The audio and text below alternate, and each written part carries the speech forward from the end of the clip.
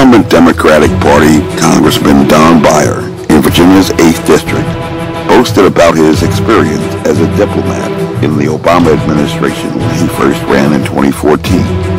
And today, he is the only member of Congress who flies a foreign flag outside his office door. Yet anyone who serves in an embassy as a leader should at least know the protocol for flying national flags. Yet apparently, he doesn't.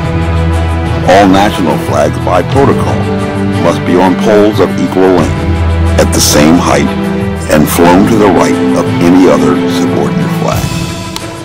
Former Ambassador Don Beyer has voted against every National Defense Authorization Act, but his district enjoys the highest concentration of defense contractors, the Pentagon, two military bases, and Arlington National Cemetery.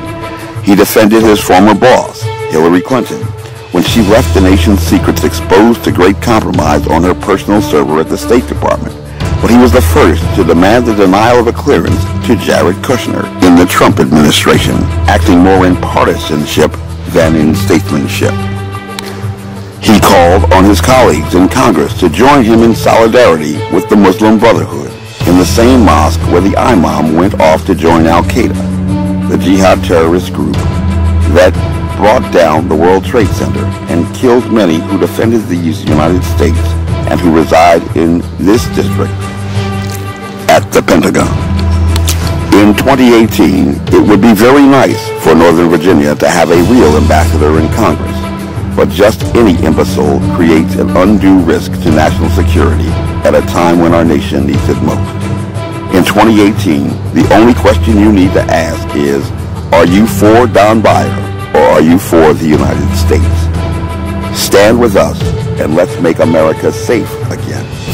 If you want to buy a car, feel free to go to Don Beyer. But if you want to enjoy your luxuries in an America without fear, think again and vote for Major Mike.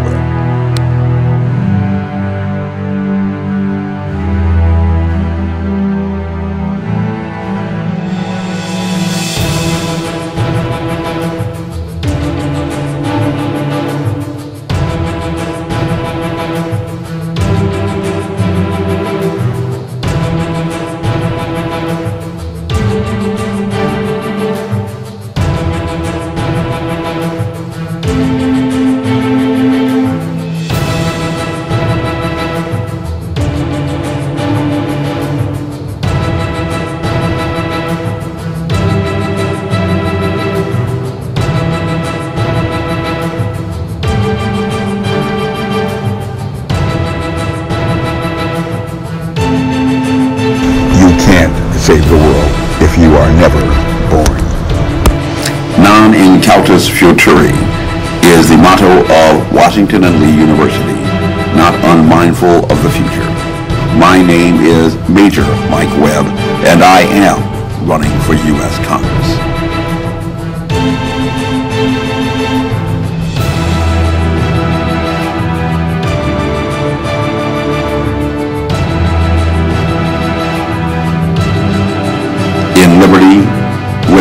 And excellence, the South shall rise again.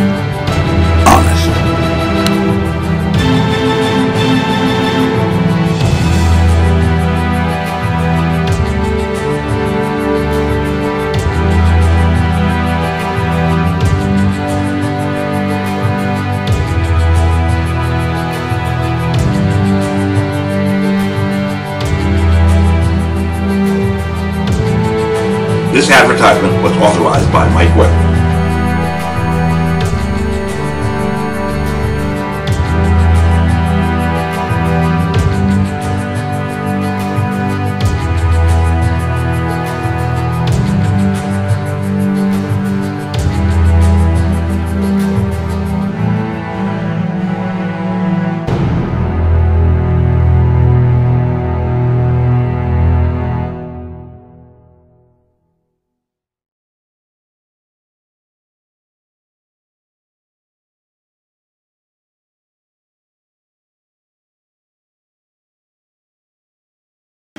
May the Lord add a blessing to the reading and hearing of his holy word.